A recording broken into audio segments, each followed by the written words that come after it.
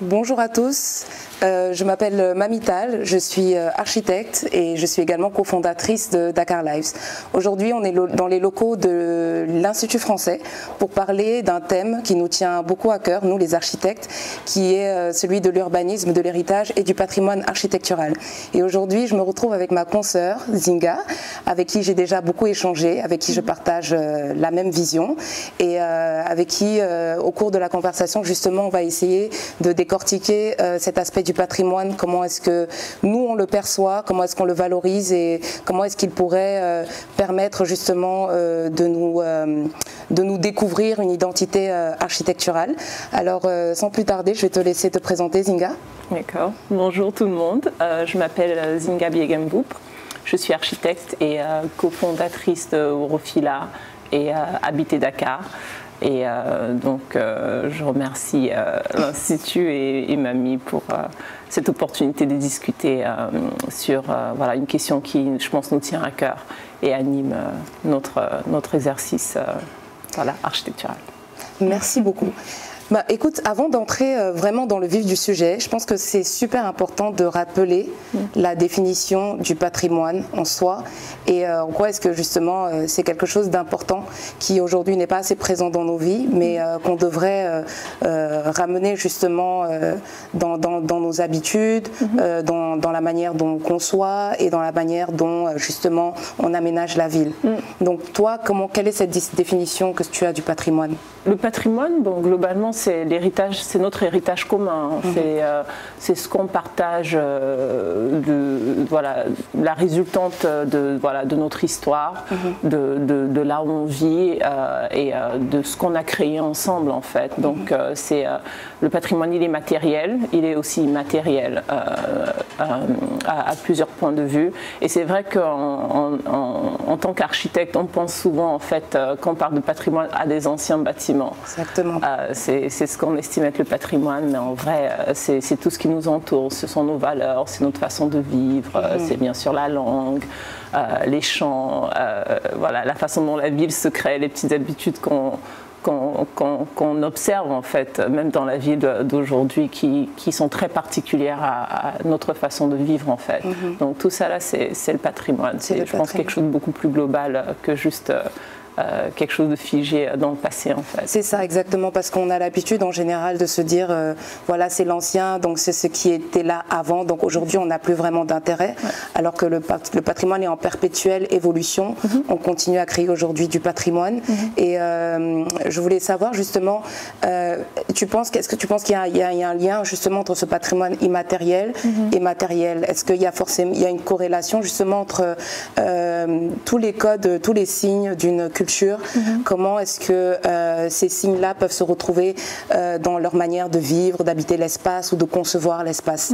Ouais. Non, c'est hyper important parce que, enfin, je pense pour tout le monde, mais notamment pour nous qui sommes dans la création en fait, mhm. d'espace, de tenir compte euh, du patrimoine à tout point de vue. parce que c'est comme ça, je pense qu'on qu'on crée des espaces qui, qui, qui vont perdurer en fait et fonctionner euh, euh, et être vraiment adéquat euh, et approprié à notre façon de, de, vivre, mhm. mais surtout aussi dans la, dans la longévité en fait. Je pense que pour pouvoir se projeter, c'est important de savoir voilà d'où on vient. Mhm. L'architecture aussi en particulier, c'est vraiment une profession, comment dire, qui, qui, est basée sur des traditions, dans le sens où on n'est pas dans de, de, la création ex nihilo. Mhm.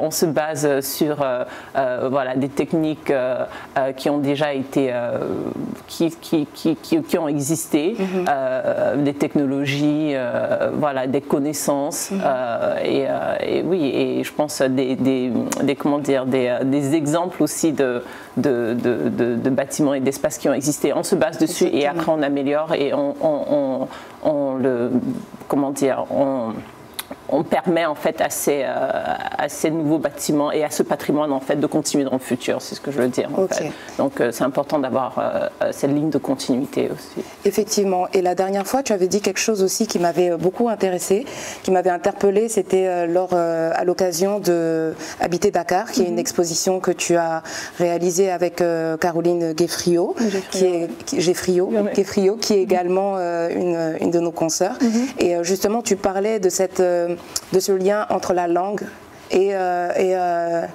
la conception euh, d'espace ou la manière d'habiter euh, l'espace. Et euh, justement, tu parlais du fait qu'en Wolof, justement, il n'y a pas salle à manger, par exemple. Il n'y a mm. pas certains termes qui ne sont pas, au final, propres à nous et qui, qui en dit long, en fait, sur notre manière de, concevoir l'espace. Ça, j'avais trouvé ça super intéressant parce mm-hmm. que c'est un lien important entre le, entre le côté immatériel et matériel du patrimoine. C'est ça. Et donc, quand, par exemple, on accorde plus d'importance au patrimoine immatériel parce que je vais donner un exemple. Le Chebudjen, c'est un, patrimoine immatériel mhm. et que on trouve peut-être que le patrimoine matériel a moins d'importance. Mhm. C'est là qu'on fait une erreur. Je mhm. pense que c'est vraiment là, à, ce niveau-là. Et puis, euh, l'important, c'est aujourd'hui peut-être de rappeler également, euh, à travers la recherche, à travers l'éducation, comment est-ce que ces deux, euh, ces deux choses sont liées et en quoi est justement est-ce que c'est important de tout le temps l'utiliser dans le présent et dans le développement de la ville. Non, bien sûr. Voilà, exactement. C'est super.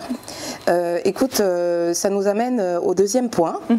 qui est vraiment, moi pour moi en fait, je voulais vraiment qu'on reparle de cette architecture, de l'évolution de cette architecture et de ce patrimoine qui nous a été laissé mhm. et qui dans, une, dans un, un, contexte historique quand même euh, particulier, fait qu'il euh, y a une mémoire psychologique qui va avec ce patrimoine qui n'a pas été oublié aujourd'hui. Mhm. Et donc il y a ce débat entre est-ce que euh, il faut conserver par exemple les anciens bâtiments parce que c'est des bâtiments qui nous rappellent la période coloniale mhm. ou encore justement ça dépend également de l'échelle du bâtiment. Est-ce que quand ça quand c'est vraiment un bâtiment qui administratif qui rappelle un moment fort de cette histoire ou quand c'est une, maison résidentielle, mhm. enfin un bâtiment résidentiel, mhm. ce n'est pas l'approche n'est pas n'est pas pareille. Mhm. Et moi justement, je voulais avoir ton regard sur ça et euh, sur euh, justement ces différents types d'architecture qui aujourd'hui marquent le patrimoine et euh, qui que je, comme je disais tout à l'heure, qui est en perpétuelle évolution. Donc on parle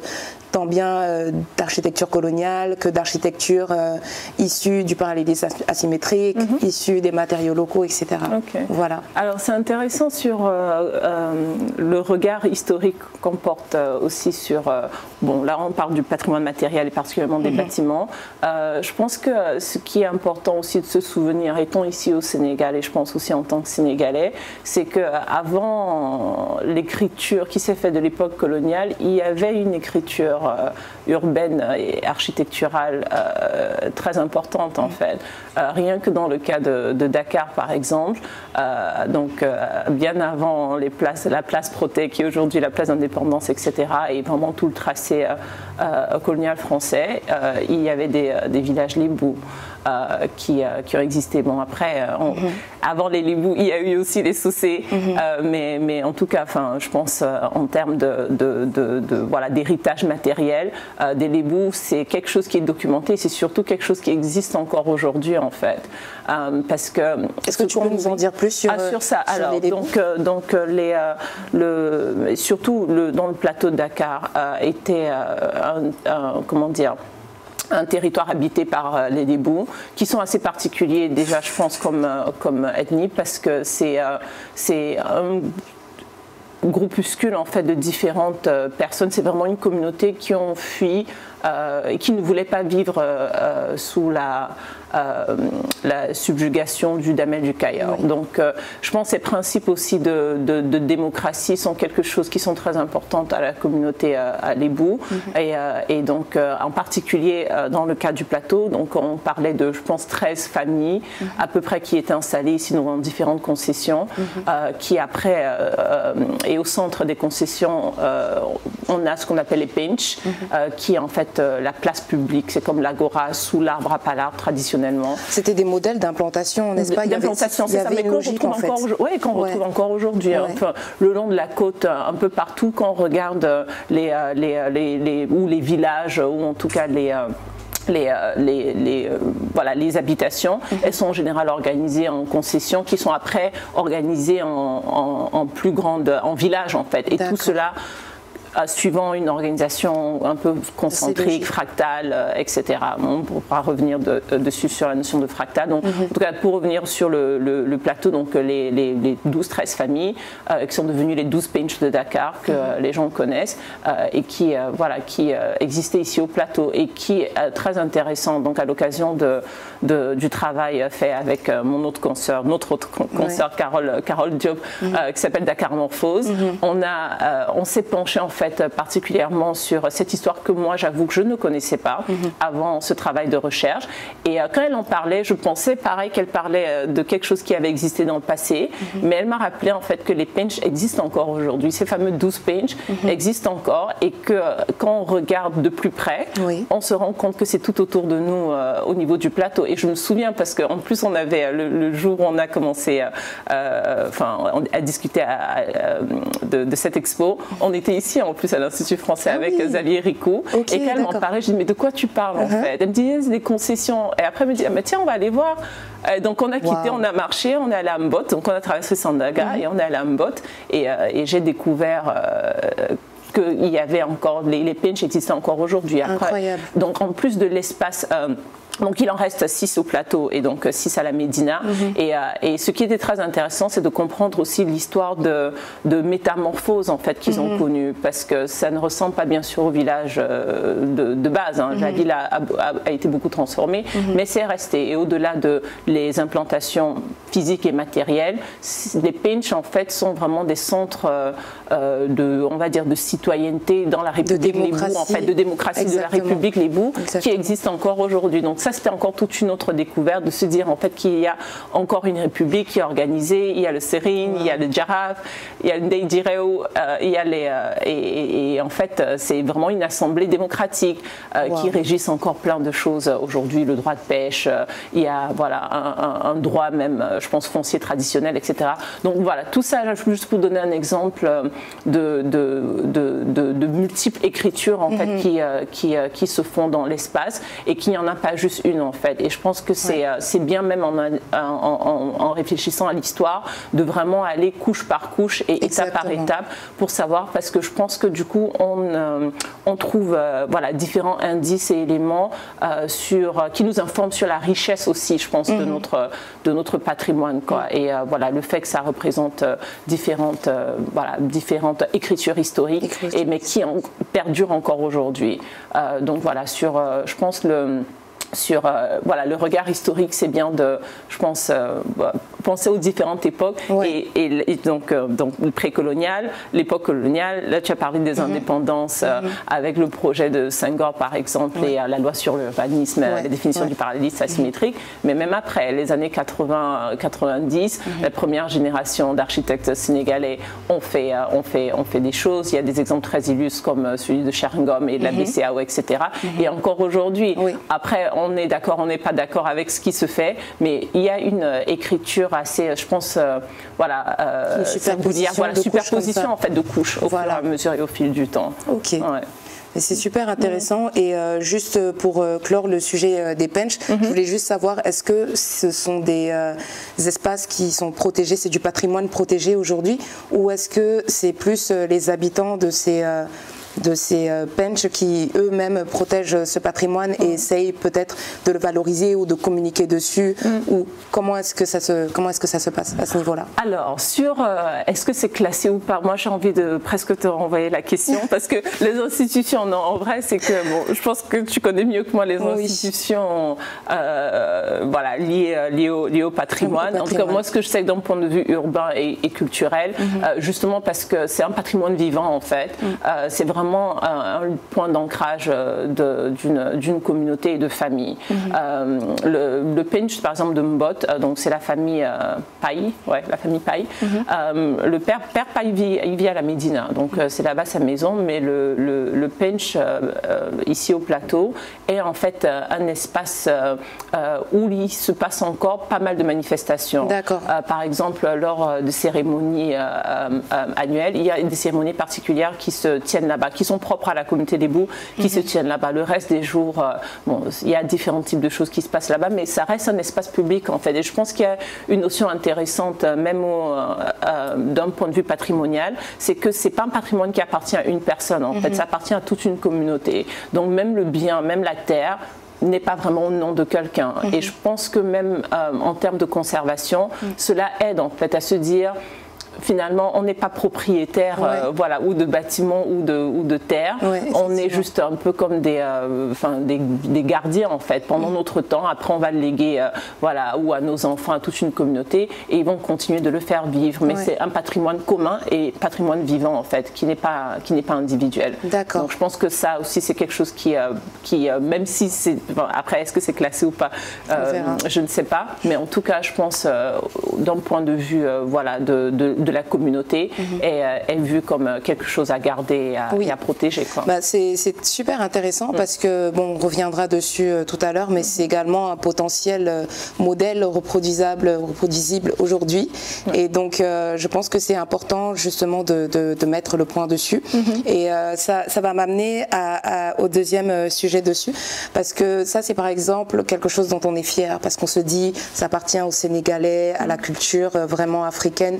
Et et euh, aujourd'hui, par exemple, dans notre identité, on ne peut pas nier l'existence de l'architecture coloniale, mhm. dans l'identité architecturale euh, de Dakar et puis euh, surtout du plateau. Mhm. Et c'est vrai que cette, cette, identi en fait, cette identité architecturale, elle est quand même associée justement à un passé assez lourd, en fait, mhm. à supporter psychologiquement. Et donc, je voulais connaître ton avis sur ça.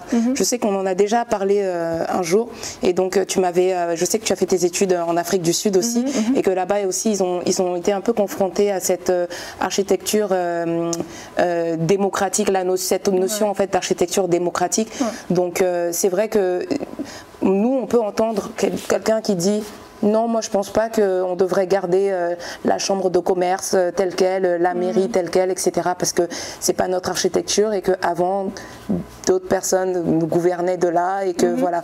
En, gros, c'est une manière de de, rejeter ça. Mais nous, les architectes, c'est vrai qu'on voit des aspects comme l'aspect bioclimatique mhm. et l'aspect également euh, euh, bah, valorisation touristique, en fait, d'avoir mhm. une empreinte historique. Mais euh, c'est vrai qu'il y, a ce débat-là et je voulais mhm. savoir ce, que toi tu en pensais et puis comment est-ce que tu perçois justement les gens qui ont cette manière de, de voir en fait cette architecture de cette manière-là? Alors c'est sûr que je pense toutes les architectures qui ont été faites avant que la clim n'arrive au Sénégal sont intéressantes pour nous parce que je pense, c'est vrai, parce que euh, par, euh, par nécessité, en fait, par défaut, euh, elles ont été réfléchies pour avoir un confort passif, en fait, mhm. confort thermique passif et faire aussi avec les matériaux qu'on trouve donc dans l'architecture coloniale, c'est ce qu'on retrouve en fait. une, c'est, je pense, une écriture vraiment singulière où certes, il y a, je pense, peut-être certains canons et une certaine esthétique qui a été importée, mais je pense une réflexion qui s'est faite euh, pour l'ancrer en fait dans le contexte, mhm. euh, dans le climat, pour euh, voilà que ça fonctionne dans un climat sahélien tropical mhm. et euh, aussi en utilisant des matériaux d'ici, notamment on pense à toutes les bâtisses qui ont été faites avec la pierre de Rufisque, par exemple, etc. Donc euh, je pense qu'il y a beaucoup de, beaucoup de richesse mhm. à, cela. Je veux dire, on voit Saint-Louis, les balcons et les coursives qui aujourd'hui voilà, sont, sont marques cette architecture à la base servent aussi de, de, de, procédés bioclimatiques justement pour mhm. protéger les, les ouvertures les, et avoir des vérandas et des espaces voilà, où, où, où l'air circuler, on est bien quoi. Donc euh, au-delà de, voilà, nous je pense la, valeur qu'on peut euh, voir dans cette architecture euh, qui, qui, qui, est, qui, est, très riche en enseignement. Mm-hmm. il y a effectivement, je pense, comme tu le dis, une, des, conversations assez récurrentes aussi, parce que mm. des fois, il y a des bâtiments qui ont besoin de voilà, réhabilitation, ou, enfin, rénovation ou restauration. Euh, et, là, du coup, on se dit, ah, est-ce que c'est dans ça qu'il faut investir, voilà, investir surtout quand, on pense à, voilà, quand il y a certaines associations voilà, avec un mhm. passé douloureux, effectivement. Mhm. Et je pense il y, a deux choses, je pense, intéressantes à cela. Mhm. Euh, effectivement, comme tu disais, je pense qu'étant en Afrique du Sud et ayant fait face en fait, à ce genre de problématiques par rapport à une architecture démocratique, mhm. lorsque voilà, l'instrument de l'État mhm. a oppressé une grande partie de la population. Euh, et, ce que j'ai appris là-bas, c'est que finalement, euh, les bâtiments, c'est de la matière. Et, le, la signification, c'est quelque chose qu'on peut réécrire. Exactement, c'est la réinterprétation. Voilà, c'est la réinterprétation. bon, après, les gens peuvent dire, euh, il y a, la matière capte aussi des énergies, donc bon. Mais ça, il y a aussi euh, des façons de fixer cela euh, mhm. sur, sur comment se dégager de ça. Mais voilà, au final, c'est que de la matière, en fait. Mhm. Et, et, je pense que ce qui aide, c'est comme dans le cas de l'Afrique du Sud, euh, ça a été en fait de, finalement donner une autre fonction à ces bâtiments et surtout une fonction civique. Et je pense que ça, ça, aide beaucoup mhm. pour euh, réconcilier un peu, je pense, euh, les personnes avec, avec certains bâtiments. Et surtout, et quand je dis une fonction civique, c'est une fonction civique aussi d'aujourd'hui. Mhm. Parce que l'exemple, par exemple, de, à Johannesburg, il y avait donc une prison des femmes où, exemple, Winnie Mandela a été au temps de l'apartheid, qui s'appelle Constitution. Hill. Mhm. Euh, peut-être que la prison s'appelait pas comme ça, mais en tout cas l'endroit aujourd'hui s'appelle Constitution Hill. Euh, et, aujourd'hui c'est l'assise de la Cour suprême euh, sud-africaine. Mais pas seulement ça, c'est qu'il y a eu tout un exercice pas juste sur le, le enfin, euh, en gros donner une nouvelle fonction, mhm. mais c'est même civiquement en fait d'en faire une sorte de, de, de, paysage urbain accessible de mhm. différents quartiers euh, où on peut en fait même traverser pour passer d'un quartier à l'autre. Donc euh, qui a aussi une sorte de vie de tous les jours en mhm. fait. c'est plus juste ce grand bâtiment institutionnel où voilà qui a été chargé de, de, mémoire douloureuse. Il y a voilà une, une nouvelle fonction, une nouvelle assise urbaine et intégration urbaine qui fait vraiment que c'est accessible à, tout le monde. Quoi. Et après d'autres choses, je pense qu'il y avait une des pièces par exemple euh, où euh, euh, les, prisonniers attendaient leur procès mhm. qui était faite en briques et les briques ont été démantelées une à une à une pour après être utilisées pour construire autre chose. Donc voilà, donc je pense qu'il y a, il y a plein de possibilités quant à, à ce qui peut, peut être euh, fait en fait de, ces bâtiments, mais je pense mhm. que voilà, ça aiderait de manière générale à ce que ce soit des bâtiments d'utilité euh, civique, en partie aussi, plutôt que d'être vus comme encore euh, voilà des éléments ou des des, des, des, comment dire des, des, restes du, du, passé qui sont encore attachés. Mhm. je pense à voilà un passé un passé colonial quoi. Ben, en fait, c'est intéressant que tu dis ça parce que moi, ça me donne envie de rebondir sur Gorée et Saint-Louis mhm. assez rapidement et je trouve justement par exemple on va avoir moins de mal à accepter cette présence-là mhm. à Saint-Louis et à Gorée parce que c'est un peu, bah, c'est l'identité en fait de, ces îles-là mhm. et c'est vraiment des sites euh, particuliers euh, euh, qui sont classés au patrimoine mondial, etc., etc. Mhm. Mais c'est également des sites où tu peux aller et puis apprécier cette architecture coloniale, mais qui entre vraiment en contraste avec l'usage en fait qu'on en fait de ces lieux-là. Saint-Louis, c'est complètement peuplé d'hôtels, de musées, de la photographie, de galeries, etc. Et donc il y a peut-être une lecture différente qu'on a euh, de l'architecture là-bas, au final, qui euh, n'est pas forcément directement associée euh, à tout ce qui a pu, à, la mémoire négative en fait mhm. de, ces lieux-là. Mhm. Et donc, je trouve ça super intéressant. Je trouve ça super intéressant. Et on le voit aussi à travers les réseaux sociaux, mhm. parce que c'est vrai que les gens, ils vont, ils vont avoir tendance à vouloir beaucoup poster ce, type d'architecture-là. Et c'est vrai que c'est intéressant derrière de se faire la réflexion et de se demander qu'est-ce Qu'est-ce qu'ils trouvent à ça? Est-ce mhm. que c'est la particularité du lieu qui fait que je vais avoir une photo unique? Mhm. Est-ce que c'est la poésie mhm. du contraste entre cette architecture coloniale et les scènes un peu anarchiques du Sénégal qu'on peut avoir euh, devant, qui se dessinent et tout? Je sais qu'en tout cas, il y a une poésie à écrire en fait avec, euh, avec ça, de manière justement à pouvoir toucher euh, les gens. Et c'est exactement ce que tu disais, parce que c'est vrai que si on reste dans le côté hyper administratif et également colonial, peut-être que ça, ça, ça, conforte les gens justement qui ont cette manière euh, un peu négative de, mhm. regarder ça. Mhm. Super intéressant. Euh, ok. On va passer, on va passer peut-être au sujet, euh, au sujet suivant mhm. que j'ai en fait, c'est surtout sur la recherche d'identité architecturale. J'ai voulu qu'on parle surtout des sources d'inspiration, mhm.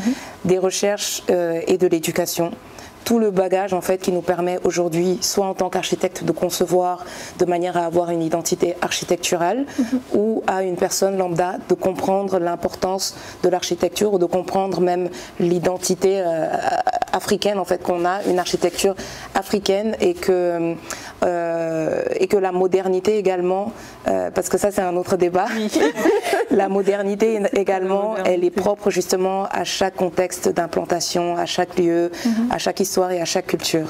Et donc, euh, en termes de, recherche en fait d'identité, je voulais savoir quel était ton avis sur sur les ressources locales, c'est-à-dire quand par exemple, nous on a, on a fait nos études donc à l'étranger, mhm. on a eu beaucoup beaucoup de ressources et euh, quand on vient ici on réalise que les élèves en architecture ici ils ont les mêmes ressources à peu près. Et donc euh, je voulais savoir toi qu'est-ce que tu en pensais? Est-ce que c'est un manque de, de, ressources locales? Est-ce qu'on n'a pas assez euh, de, de recherches faites par des architectes africains ou même pas forcément des, des architectes, hein, mais des chercheurs qui nous permettraient aujourd'hui justement de trouver des mécanismes, des principes de développement mhm. d'une identité architecturale. Mhm. Donc je voulais savoir justement qu'est-ce que euh, où est-ce que d'où est-ce que tu penses que ça vient justement euh, ce, manque de ressources et euh, qu'est-ce que qu'est-ce que tu en penses tout simplement? Alors je pense sur ben, déjà le fait même de, poser la question de de se demander comment est-ce qu'on crée une architecture en fait en accord avec notre identité. Je pense que ça vient d'abord d'une prise de conscience. Hein. Mhm. je crois que c'est le point de départ. Il faut avoir une prise de conscience. Il faut être assez je pense, euh, fier de qui on est et mm. puis savoir aussi qui on est en fait, pour mm. savoir justement qu'on n'est pas des coquilles vides, quoi, qu'on a une histoire, qu'on a une identité, qu'on a voilà une, une, oui, une façon d'être propre et, euh, et qu'on enfin, mérite en fait euh, d'avoir des espaces qui sont en accord avec cela, mm-hmm. d'avoir ouais, une, ouais, voilà, des espaces, des bâtiments qui sont en accord avec cela. Donc je pense que voilà, le point de départ c'est d'abord cette, cette prise de conscience. Et après, sur euh, les ressources disponibles, moi, je, bon, je, peut-être pas si vieille que ça, mais je me souviens étudiante, parce que pour le coup j'ai euh, d'abord étudié en Afrique du Sud, mais j'étais très frustrée en fait euh, quand je, j'allais à la recherche, euh, je pense particulièrement de documentation sur l'architecture africaine de toute époque, hein, mhm. que ce soit l'architecture traditionnelle, que ce soit bon l'architecture coloniale, il y avait un peu plus de documentation, mais je sais que par exemple l'architecture contemporaine africaine m'intéressait beaucoup et il n'y avait rien de, il y avait rien dessus. Aussi il y avait quelque chose, c'était fait peut-être par des étrangers. Voilà, c'est ça sur euh, les quelques livres. pas le regard euh, africain par un Africain. Non, par un Africain. Je me mhm. souviens à l'époque, il y avait euh, un, Nigérian, Namdi Ele, qui a étudié aux États-Unis, qui avait fait un projet de thèse. Je pense que le livre, je ne sais pas combien d'exemplaires il y avait, mais c'est voilà, une thèse en fait académique. Et, donc après aussi, j'ai connu mon, mon, ancien patron comme ça, David Adjei, parce qu'il mhm. avait fait une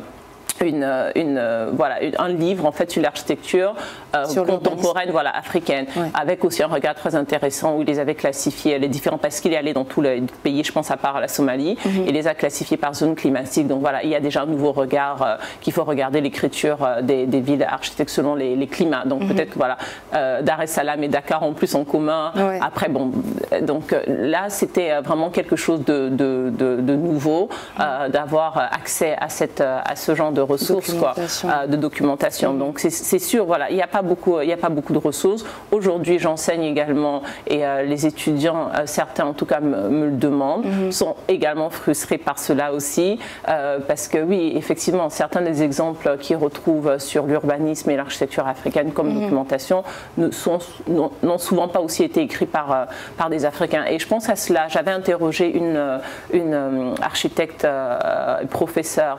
en, architecture, euh, euh, Leslie Loco, mm -hmm. écossaise, qui est en Afrique du Sud a était à la tête de l'école d'architecture de Johannesburg et qui, je pense, là est en train de travailler sur euh, l'ouverture d'une euh, institution académique euh, au Ghana. Mhm. et, elle me, et donc je lui demandais comment est-ce qu'on pallie à cela en fait quand il y a très peu de ressources voilà sur l'architecture africaine. Et elle disait que quand elle était étudiante, qui était encore bien avant, elle mhm. avait la même interrogation et la même frustration, mhm. sauf qu'elle elle a pu se, trouver de l'inspiration dans des choses autres que l'architecture. Donc elle, c'était de la littérature, le cinéma mhm. et tout simplement tout ce qui l'entourait. En fait, c'est juste de se dire euh, ce qui m'entoure, euh, ce que je vis mhm. euh, est, mon patrimoine en fait. Et, et c'est un patrimoine voilà donc digne que dont je peux m'inspirer euh, dans mon architecture en fait. Parce que c'est vrai qu'il y a, je pense, une, euh, une sorte de, de, même de paradigme en mhm. fait, de, euh, qui est peut-être beaucoup plus occidental, se dire que si c'est pas documenté, si c'est pas, voilà, si c'est pas dans un livre, en gros, c'est pas le patrimoine. Voilà, si c'est pas accessible dans un musée ou dans une bibliothèque, mhm. c'est pas, c'est pas, voilà, c'est pas légitime. Et en fait, le patrimoine, il est partout. Donc, moi, j'ai trouvé, j'ai trouvé ça très puissant, même si il faut qu'on travaille, je pense, à avoir plus de, documentation, voilà, à publier, à faire de la recherche, etc. De savoir que le patrimoine, il est d'abord en nous. Hein, et il faut juste observer et je pense juste l'accepter, en fait, mhm. euh, et, estimer que c'est assez important euh, pour, euh, pour qui nous sommes pour le, faire passer dans, notre architecture en particulier. Exactement. Moi, je trouve super intéressant de s'inspirer de la non-architecture pour faire de l'architecture parce mhm. que c'est là que se trouvent justement les fondements de plus grands, des plus grands courants euh, architecturaux. Euh, et, donc c'est vrai que ça, on manque beaucoup, beaucoup de ça ici, mhm. et notamment euh, dans, l'enseignement, dans l'éducation. Mhm. Et oui, c'est vrai qu'on gagnerait vraiment à essayer d'ouvrir les esprits, essayer d'analyser plus en fait notre quotidien, ce qu'on a autour de nous, mhm. et découvrir justement que en fait on a, beaucoup d'avance sur certains sujets, comme un jour tu me disais, qu'on a beaucoup d'avance sur certains sujets, mais qu'on ne se rend pas compte en fait de l'avance qu'on a, qu'on, a parce que mhm. voilà, on les fait par dépit ou parce qu'on ne réalise pas en fait ce qu'on mhm. a super intéressant aussi. Et donc, euh, pour, trouver, euh, pour trouver de la documentation, par exemple, toi, pour habiter Dakar mhm. avec, euh, avec Caroline, est-ce que ça a été vraiment galère de trouver de la documentation, les, les anciens plans, etc. Est-ce que vous avez été obligé de retracer tout par vous-même? Parce que je sais qu'aujourd'hui, pour, pour vraiment documenter ou vraiment participer à ça, mhm.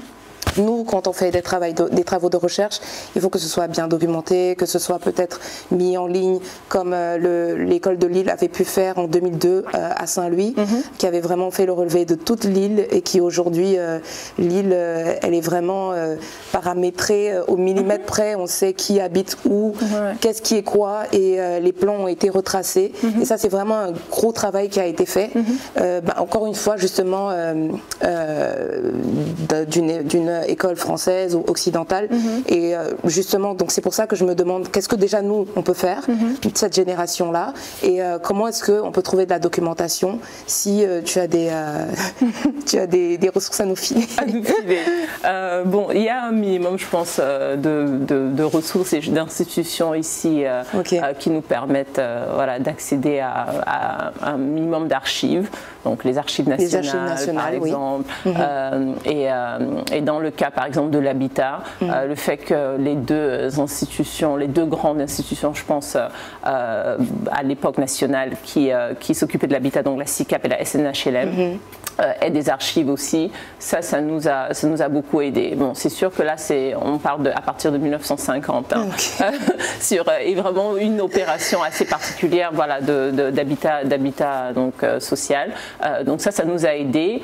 pour ce qui est de, de, de comment il s'appelle de la maison traditionnelle sénégalaise, euh, c'était euh, aussi les travaux d'un ancien étudiant de l'école d'architecture d'ici, euh, Patrick Dujaric. Mhm. et je sais qu'il n'a pas été le seul à, mhm. avoir voyagé dans le Sénégal, à avoir documenté l'architecture traditionnelle.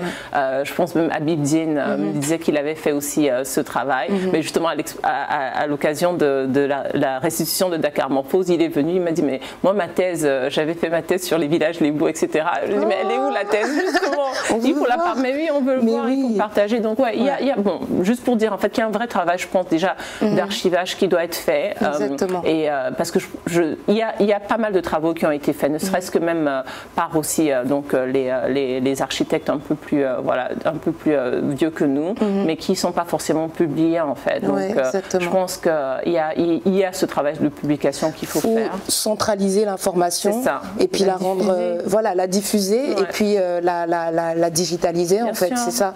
Que ce ne soit pas que du papier, mais qu'on mhm. ait vraiment la possibilité euh, d'avoir accès à ces informations-là en tout temps. Pour pouvoir poursuivre en fait. Exactement. Parce que c'est toujours pareil, quand on veut commencer un travail, mhm. on essaye de voir qu'est-ce qui a été fait avant et qu'est-ce que nous on peut apporter dans la contribution. Et je pense que oui, dans le cas de Habiter Dakar, on a eu en fait cette chance d'avoir aussi bon, avoir eu accès à, tous ces travaux. Et après, c'est les personnes. Hein. Mhm. Le travail, ça a été interrogé. Euh, interroger ben, des Dakarois, tout simplement sur euh, voilà, leur euh, habitation, leur façon de vivre, avec des profils aussi très différents. Donc mhm. euh, c'est toujours intéressant de, voilà, de discuter avec un jeune, avec quelqu'un de plus âgé, quelqu'un qui vient de la campagne, ou bien un Dakara pur aîné, etc., mhm. pour avoir différentes perspectives. donc, donc voilà, il y a juste l'observation aujourd'hui.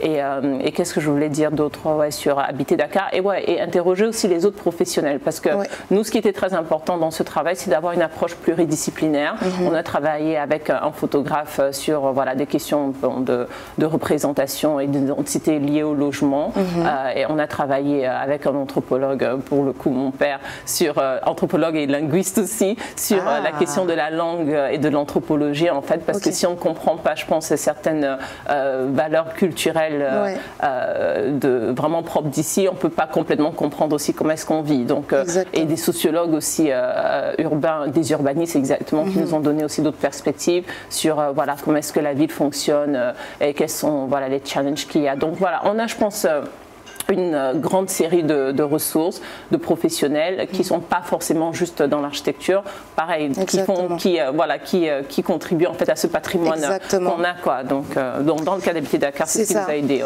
Et justement, moi je trouve d'ailleurs ce format, enfin, je trouve que même à notre niveau, au niveau de, la jeunesse, en fait, avec ces mhm. nouveaux formats qu'on a justement de diffusion, les réseaux sociaux, etc., il y a vraiment un travail à faire. Mhm. moi, tu sais que je suis cofondatrice de, de Dakar Lives et donc donc, euh, j'utilise beaucoup mes réseaux euh, pour faire euh, soit la promotion de l'architecture locale, enfin construite avec les matériaux locaux, etc. Mhm.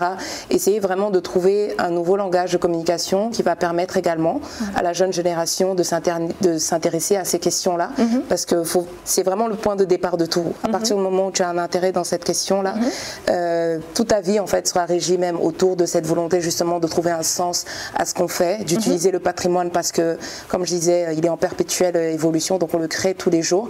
Et euh, bah, ça, en fait, c'est une forme de patrimoine aussi, ce qu'on est en train de créer là. La documentation, les visites qu'on fait, qu'on vient poster justement pour permettre aux gens de comprendre, de comprendre ou de connaître tel, tel et tel lieu. Et euh, peut-être nous aussi, les architectes, on peut, on peut davantage euh, contribuer à ça, faire des documentaires, aller dans des espaces et puis mhm. vraiment utiliser des formats qui vont permettre à cette jeune génération de rester concentrée, plus de plus de la durée d'une vidéo IGTV et euh, leur imposer ça ou encore dénoncer comme avec la vidéo que j'ai fait sur, mhm. le, sur le littoral et sur euh, l'urbanisation un peu anarchique euh, de cet espace-là. Mhm. Donc je pense que ça rejoint, ça rejoint ça et je pense que on a vraiment ce travail à faire, mais chacun dans son domaine. Donc tous les domaines, je pense qu'il y a, il y a un fonds de patrimoine en fait à exploiter dans vraiment mhm. tous les domaines euh, d'activité, parce que c'est ce qui nous régit en fait, c'est ce qui fait de nous ce qu'on est. Mhm. Et donc, euh, donc voilà. Et justement, mhm. juste pour euh, poursuivre cela, parce qu'on parlait de trans, trans transdisciplinarité, ah pardon.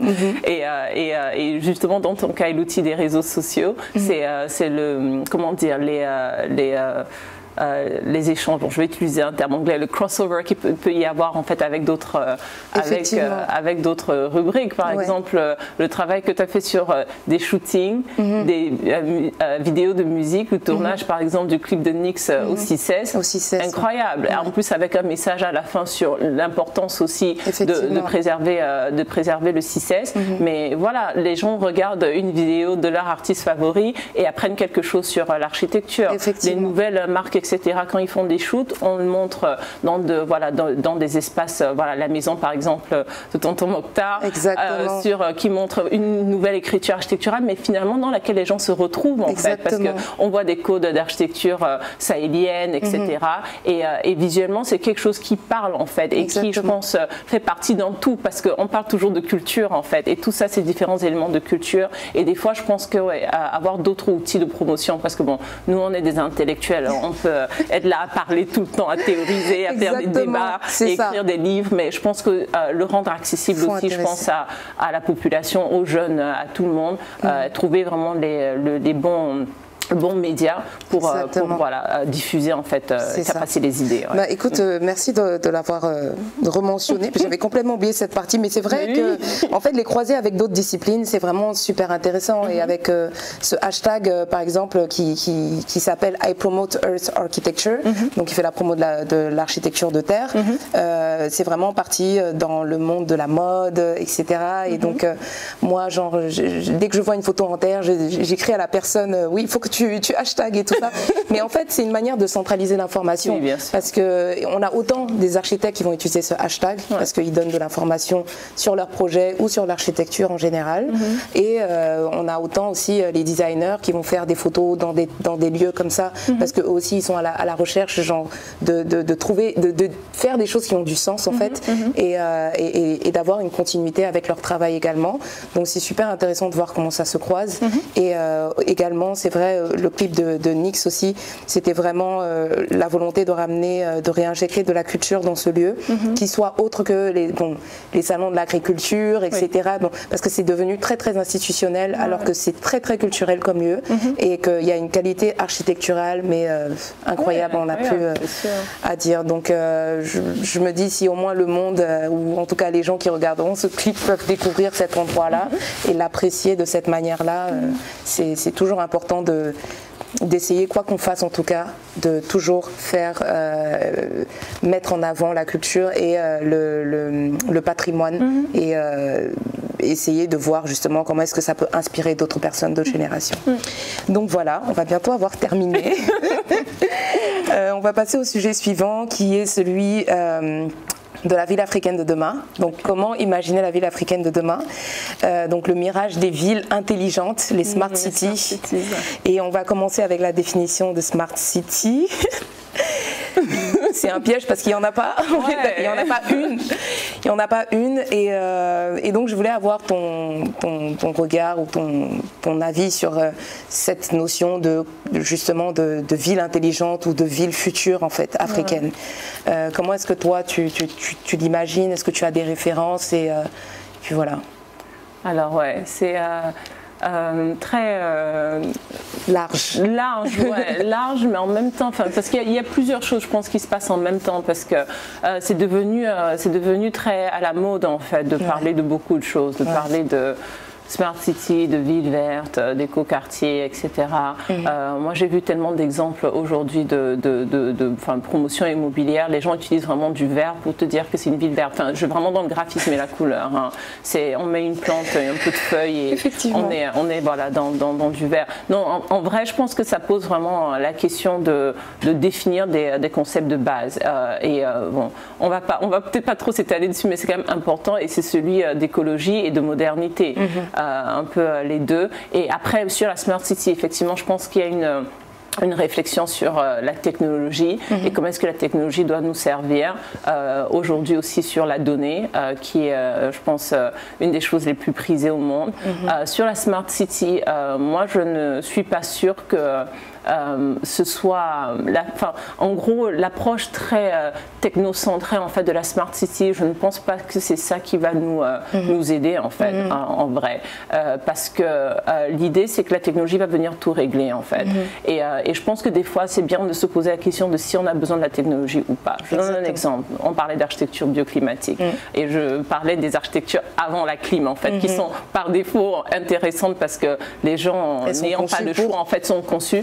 Mais en fait, on se rend compte que c'est possible. Aujourd'hui, on va avoir euh, beaucoup de, euh, de modèles de, de clim écolo. De, de, on parle beaucoup, bien sûr, de panneaux solaires et, et, et d'éoliennes et de, en fait, de toute cette technologie qui nous permet de, mieux vivre en fait, mhm. alors que des fois il faut juste faire moins. Et je pense qu'il y a une vraie ben justement beaucoup de ressources dans le patrimoine mhm. sur, euh, sur des architectures et sur des villes qui sont très low-tech en fait mhm. et sur des principes euh, en fait de base qu'on connaît et qui n'ont pas besoin je pense d'être de devenir ou automatiques ou généralisés c'est juste des principes humains en fait euh, moi je sais que ben, un de nos, ben, nos confrères au Togo Sename Kofi qui est aussi anthropologue s'est beaucoup interrogé dessus mhm. en disant que en fait on peut imaginer parce que bon il a aussi fondé un, Fab Lab mhm. et s'intéresse beaucoup, je pense, à ce que la technologie peut faire, euh, comment est-ce qu'elle peut servir à la création de, je pense, de nouvelles villes. Mhm. Il y a d'autres, voilà, penchants aussi de la technologie comme le open source, mhm. le fait de pouvoir, euh, voilà, euh, recycler des composants électroniques, d'être aussi juste dans la voilà, dans la création et l'innovation, mais accessible vraiment à tout le monde. Mais euh, dans sa réflexion sur comment est-ce que ça peut servir en fait à la ville africaine, il est retourné en fait en arrière et s'est beaucoup intéressé aux architectures euh, euh, traditionnelles vernaculaires, mhm. pas tellement pour juste voir les procédés matériels de ces architectures, mais beaucoup sur les principes en fait et les valeurs qui étaient les valeurs finalement humaines en fait, qui, qui guidaient ces architectures humaines donc et sociales. Et, de là, il a, je pense, euh, euh, trouvé euh, huit principes qu'il pense peuvent nous informer en fait sur comment faire la ville. une des choses qu'on connaît tous, c'est sur la fractale. Mhm.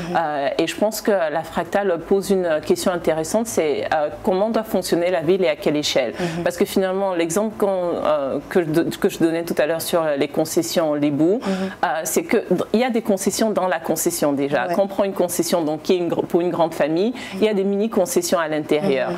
Et la concession fait partie d'une plus grande concession, du village. Et tout ça, c'est la même organisation très concentrique, en fait, où il y a différentes cours, mais qui se reproduisent à grande échelle. Donc, si on pense à la ville, par exemple, euh, de mhm. cette façon que, en fait, c'est plein de petites communautés, en fait, mhm. mais plus ou moins autonomes, qui euh, peuvent se regrouper ensemble pour faire une plus grande entité. Je pense que c'est un principe intéressant plutôt que d'avoir la ville euh, qui est, qui est découpée par zoning. Ici, on vit, là, on travaille, là, on fait de l'industrie Regardons aussi la ville africaine aujourd'hui. Euh, moi, je vois des exemples des quartiers résidentiels. Mhm. Euh, après un moment, c'est jamais que résidentiel. Hein. Mhm. Le garage sert de boutique, euh, euh, voilà, boutique pour vendre des aliments ou juste boutique, voilà, au salon de coiffure mhm. ou etc. Finalement, les gens tissent leur ville pour que ça matche, ça corresponde en fait à, leur, à leurs besoins, mais, mais déjà même à petite échelle. Et ça, c'est pas les, c'est pas la planification urbaine qu'on a aujourd'hui qui le fait, mais on se rend compte que dans une certaine mesure, elle marche. C'est sûr qu'elle peut être améliorée, mais c'est une ville qui correspond en fait à notre façon de vivre. Donc il y a, je pense, beaucoup de, juste dans l'observation mhm. euh, de ce qui est fait aujourd'hui, euh, des principes qui peuvent nous permettre en fait de créer des villes meilleures mais adéquates à, notre façon de vivre. Et je ne pense pas que ce soit nécessairement euh, la technologie qui, qui, qui va nous, qui va nous non, parce que ça, c'est ça, c'est moderne, les fractales. En fait, le patrimoine, c'est moderne en fait. C'est tout simplement ça. C'est 2.0, c'est moderne. Mm. Et justement, se, se dire qu'on peut se baser justement sur ce genre de principes pour développer des logiques de ville qui nous correspondent nous vraiment et qui soient ancrées dans notre culture. Moi, je mhm. trouve ça, euh, je trouve ça incroyable. Mais euh, d'ailleurs, je trouve que c'est super intéressant les travaux qu'il mène et euh, on mhm. gagnerait vraiment à aller regarder les différents principes qu'il met, qu'il met en avant. Mhm. Est-ce qu'il y en a un deuxième peut-être que tu pourrais Alors, il a parlé. Moi, je pense à deux choses, mais, mais parce qu'il parlait par exemple de l'importance de l'enclos d'initiation, qui aussi, voilà, traditionnellement, on, devient citoyen un peu par par des des, procédés comme euh, voilà euh, l'initiation, ça prend différentes formes. Hein. Je veux dire, en, Casamance, il y a le bois sacré. Euh, bon, nous, on connaît pour les plus petits garçons la circoncision. C'est voilà, des, moments en fait de vie où d'autres c'est le mariage, etc. Mais où en fait on, on apprend des valeurs en fait mhm. sur voilà comment se tenir en société par rapport à l'autre. Et donc il parlait d'enclos d'initiation par exemple, qui sont en fait finalement peut-être des petites unités d'apprentissage à la ville mhm. et au civisme en fait, où on mhm. crée réellement des, citoyens. Et, mais sinon, une autre, enfin, une autre une réflexion qu'il a eue, c'est sur l'économie circulaire, en fait, et mhm. sur l'économie de partage. Que, en mhm. gros, aujourd'hui, l'économie de partage pour nous, c'est Airbnb et Uber. Mais finalement, dans, quand on regarde dans tous les quartiers, par, un peu par nécessité, mais je pense aussi à cause des valeurs qu'on a, mhm. on met des choses en, commun. Donc, il va y avoir, je sais pas moi, un gardien qui surveille quelque chose tout pour tout le monde. Si on a besoin d'une voiture, on demande pour faire une course, on demande la, voiture. Et finalement, il y a une sorte d'échange de service euh, pour se stationner. On cherche quelqu'un. Euh, voilà, d'échange de services pour se faire. Je sais pas euh, s'il y a une perceuse, le voisin a une perceuse, c'est ça. Hein, J'ai pas besoin d'acheter une perceuse. Mhm. Quand j'en ai besoin, je, je l'utilise, etc. Mhm. Et puis, enfin, je la prête et puis je lui rends. Mhm. Et il y a un échange de services qui se font finalement naturellement. Mais ça, ça ne peut que marcher quand on vit aussi, je pense, à, à plus petite échelle en fait en communauté. Mais il n'y a pas besoin d'une Uber ou d'une application pour, euh, pour établir ces, ces, échanges en fait. C'est des choses qui se font euh, finalement humainement qu'on a et qu'on peut, je pense, sur lesquelles on peut s'ancrer pour, pour concevoir la ville. Mais c'est d'abord concevoir comment est-ce qu'on vit en fait entre nous. Donc ouais, j'ai trouvé sa réflexion très intéressante ah, dans ce dans super ce sens. Quoi, Franchement, c'est super intéressant et je pense que quand on parle de Smart City, on, a, on est confronté au même problème que justement de la modernité. Mhm. C'est que le terme est vraiment, les, ces termes-là sont à prendre dans leur sens large, mais il faut également savoir qu'il y a cette notion-là de, de de contextualiser en fait la définition. Euh, la modernité ici, c'est pas la même que la modernité euh, à l'étranger, euh, mhm. en France.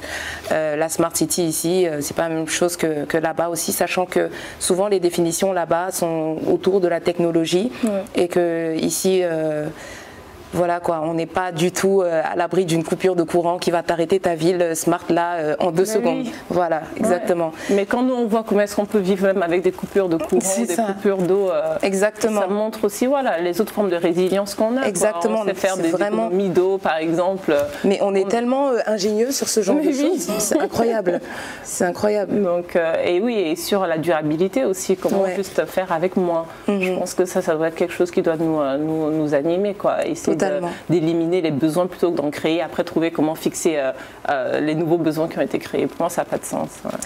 Bah écoute, euh, ça va m'amener à la dernière partie mhm. parce que je me suis, je, voudrais qu'on se questionne sur comment valoriser ce patrimoine-là parce que tu vois tout de suite, on a fait une petite analyse et on a réussi à en sortir justement des, bah, des des principes ou en tout cas euh, une lecture qui nous permet nous de, de mieux comprendre en fait euh, ce mécanisme-là. Mhm. Comment est-ce qu'on pourrait euh, plus valoriser le patrimoine aujourd'hui?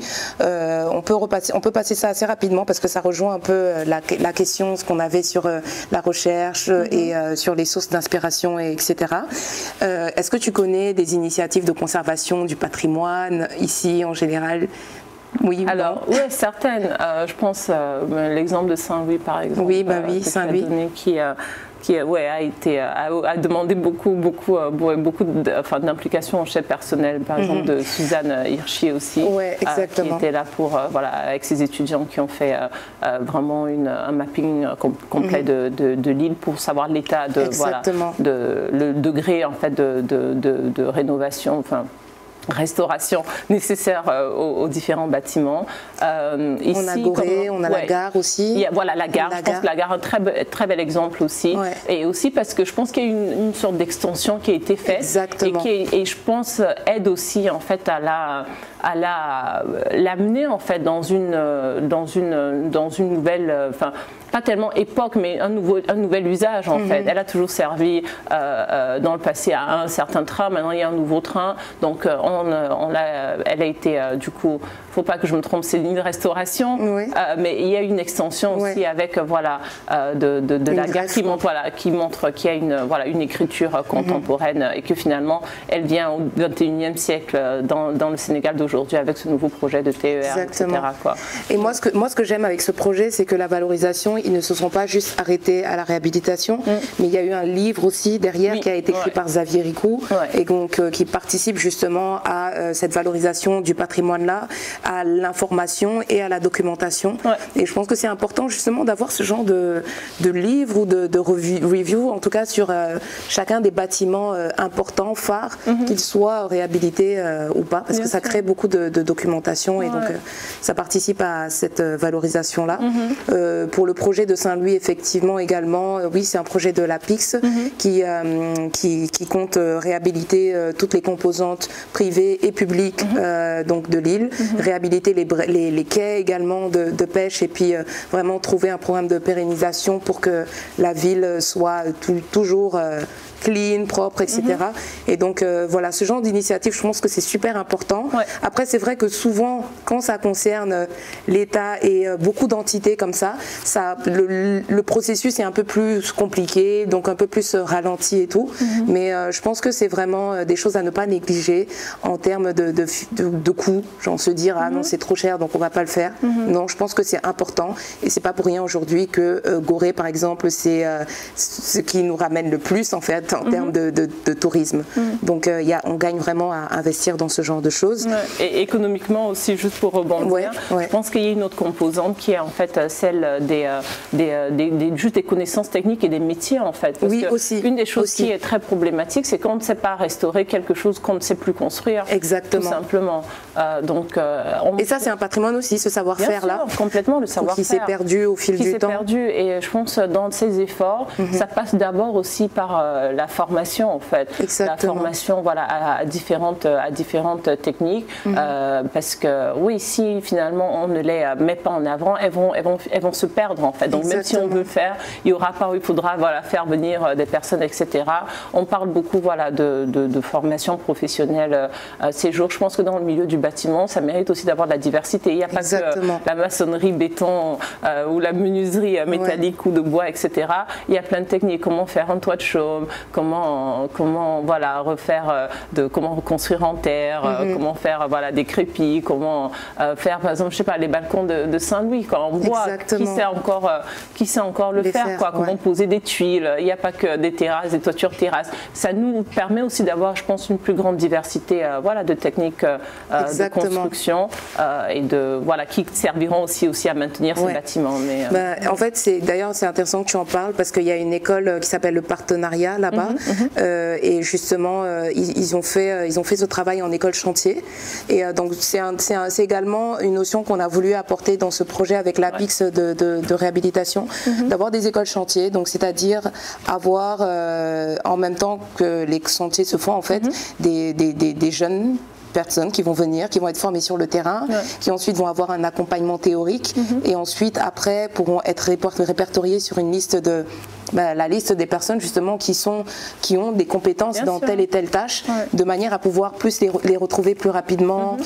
euh, essayer de trouver un système peut-être pour les rémunérer de manière à pouvoir vraiment s'assurer qu'ils vont rester jusqu'à la fin donc c'est vraiment ce travail de transmission là qu'il y a à faire c'est assez délicat et, long mais je pense que c'est nécessaire mm.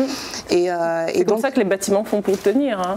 La grande mosquée, euh, par exemple, la truc à, à Djenné, mhm. elle tient parce que tous les ans, il y a un festival de, de, où on remet de la terre sur les murs. Sur les murs, Tous les jeunes du village viennent, on prend voilà, la terre quand le fleuve est au plus bas et, euh, et on refait. Et c'est une, une, très grande festivité. Et donc ça contribue aussi à maintenir et faire vivre aussi ce patrimoine. Mm. Bah, écoute, franchement, je trouve que c'est super important. C'est c'est vraiment important cette question-là. Mhm. Euh, en particulier. C'est également important de savoir aujourd'hui quelle est la place de ces centres euh, de patrimoine comme euh, les musées justement et, de savoir effectivement quelles sont les, vocations de ces musées-là dans nos pays où ils ne mhm. sont pas assez fréquentés. Mhm. Est-ce qu'ils pourraient devenir des centres d'interprétation du patrimoine, mhm. sachant qu'il n'y en a pas beaucoup, mais que ici, par exemple à Dakar, c'est vraiment le Sénégal, c'est vraiment un point central de l'historique Afrique, ouest africain en fait. Et donc, je pense que ce serait important, ce serait intéressant d'avoir ce genre de ce genre de d'entité pour favoriser la connaissance de, de, ce patrimoine. Mhm. et, donc voilà. Je et, le, et le, diffuser aussi. Et le diffuser. Et, en faire la promotion. sur la langue, en fait, pour rendre les choses accessibles, il faut aussi penser toujours au médium dans lequel on le, on le fait. Si voilà, il y a des choses qui sont dans un musée où il faut savoir lire, écrire et en français seulement, mhm. finalement, ça, ça ne va toucher qu'une partie de la population. Donc je pense qu'il y a toute une réflexion sur la démocratisation aussi du savoir euh, à faire. Quoi. Et, euh, Exactement. Bah, écoute, euh, Zinga, franchement, ça m'a fait vraiment plaisir d'échanger avec toi sur ce sujet. Et je sais que toi et moi, on aurait pu parler encore des heures et des heures sur ça. Il y a beaucoup de, choses à dire en fait. Mm. Mais je pense qu'on a quand même balayé le, Voilà, on est vraiment on, a quand même balayé le, principal. Mhm. Et euh, donc, euh, ce qu'il faut retenir justement, c'est euh, cette importance de la valorisation du patrimoine, mhm. cette importance de le connaître aussi et de comprendre en fait ce qu'il représente pour nous mhm. au quotidien. Sinon, on passe devant en fait et, on le remarque pas, tout simplement. Et c'est au cœur de voilà mon exercice particulièrement. Exactement. Avec Urofila, enfin en plus des travaux de recherche, l'agence architecturale Urofila, qui fait uniquement de l'architecture bioclimatique et utilise notamment la terre. Beaucoup de personnes disent ah vous êtes tellement innovant je dis, en fait, on n'innove rien. C'est une technique qui a été là depuis des millénaires. Donc, euh, on, voilà, Mais c'est bien parce que ça donne un peu ce challenge de, de, de rendre cool en fait ce matériau aujourd'hui et de permettre à la jeune génération de plus s'y apparenter plutôt mhm. que de la voir comme un matériau de village euh, qui est pour les pauvres. Exactement. Donc voilà, on va refermer sur ça. Euh, Zinga, merci beaucoup. Merci, merci de nous avoir suivis et à très prochainement. Merci. Merci.